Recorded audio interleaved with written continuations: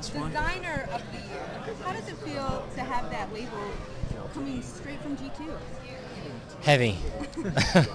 um, no, it's an honor and a privilege, of course. Like GQ is a forerunner in like men's education, men's fashion, knowledge. So um, to be nominated by them is a industry pedigree, and um, I hope I live up to it. Sure. You're very stylish tonight.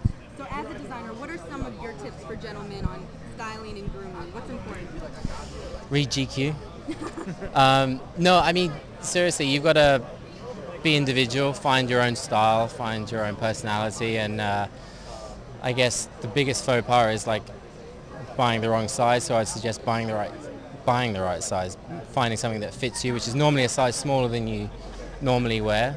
Um, and as I said, being individual and you know like modeling yourself after icons like Milo here. Hardly, hardly. I'm just the funny thing is I'm just a fan. Had been a fan, then became friends, and now it's like, oh, okay, I get very nice suits and things to wear and be a part of the group. He looks out for you, right? He absolutely does. He does. It's a revolving door. Yes. Now you are in great company side. Of course, Jeff Bridges is being honored as Icon of the Year. Do you have a favorite Jeff Bridges film? The Dude. I mean, without sounding iconic and cliche, yeah. I mean, it it goes down in like history.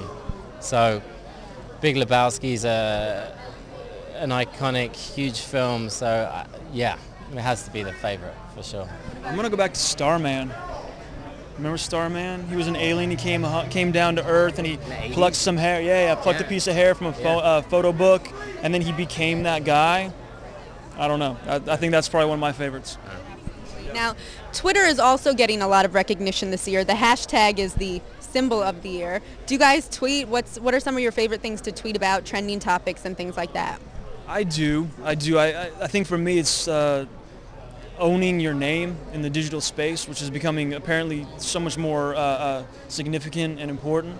Uh, and I think the things that I like to let people know about are more the social issues, social con- consciousness, responsibility, things like that, as opposed to what I had for breakfast, because that's pretty mundane and ridiculous.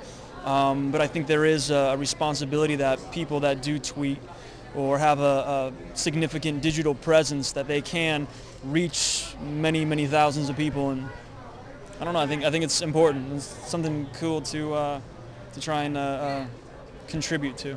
Absolutely. Now, last question. If you guys, if you weren't a designer and you would have signed an action, what do you think you'd be doing right now? I, I might be a fighter pilot right now. I almost went into the Navy when I was 18, and I didn't because I was going to be a pilot. And I, I think I that. can see you as a fighter pilot. Yeah, right. Yeah. Some kind of Top Gun Yeah. Maverick thing. Yeah. I, don't, I don't know something maybe. Yeah. What about you? Not as cool, not as necessarily, not as, as fast Maverick Top Gun, but um, maybe an architect, architect or car designer, something still conceptual. Like um, I'd love to be a, I don't know if this term exists, like a horizon architect, change like the landscape a little bit. So be a little bit kind of eco and green, of course, at the same time. So I don't know, but like it, it kind of relates back to the clothes, very architectural and very tailored and sculptural. So Well, congratulations on the honor. thank you very much.